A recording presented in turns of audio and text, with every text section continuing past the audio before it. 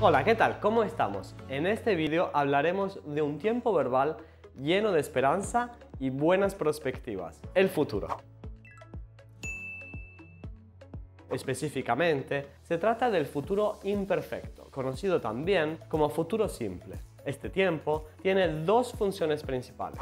Hablar de acciones que se realizan en el futuro inmediato o lejano, con indicadores temporales como esta tarde, esta noche, esta semana, este mes, este año, mañana, desde mañana, a partir de mañana, la semana que viene, el mes que viene, el año que viene, dentro de más cantidad de tiempo. Por ejemplo, dentro de dos días.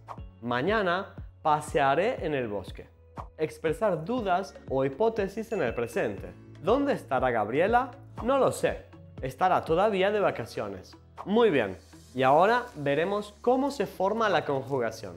Iniciamos con los verbos regulares. Yo, tú, él, ella, usted, nosotros, nosotras, vosotros, vosotras, ellos, ellas, ustedes, más infinitivo. Amar, comer, vivir. Más, e, as, a, hemos, eis, han. Entonces, el verbo conjugado queda así. Amaré, amarás, amará, amaremos, amaréis, amarán. Comeré, comerás, comerá, comeremos, comeréis, comerán. Viviré, vivirás, vivirá, viviremos, viviréis, vivirán. No hay diferencias entre las conjugaciones. Tomamos el verbo en infinitivo y agregamos las desinencias del futuro imperfecto. ¿Y los verbos irregulares? También los verbos irregulares agregan estas desinencias. No obstante, cambia la raíz de este modo. Poder, podr. Saber, sabr. Haber, abr. Querer, quer. Caber, cabr. Tener, tendr. Valer, valdr. Salir, saldr. Venir, vendre. Poner, pondr. Hacer, ar. Decir, dir. Entonces, un verbo conjugado, por ejemplo, el verbo poder, queda así. Podré, podrás, podrá, podremos, podréis, podrán.